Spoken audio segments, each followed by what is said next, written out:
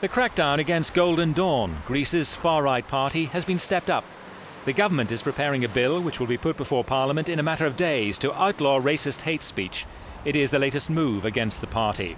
There had been a split in the ruling coalition over whether it needed a new anti racism law. Now it is united. Democracy cannot fund its opponents.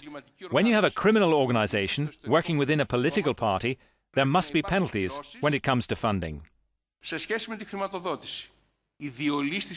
It is a big mistake for anyone to come to the conclusion that Nazi behavior that results in violent acts is an automatic result of the economic crisis.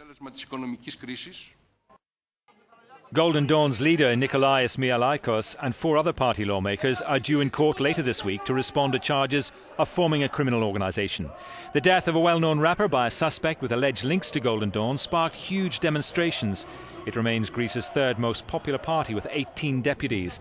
Its leader had threatened to withdraw them from parliament to force early elections. Evangelos Venizelos refused to take the threat seriously, saying the government would not be blackmailed. Golden Dawn has denied any connection to the rapper's death.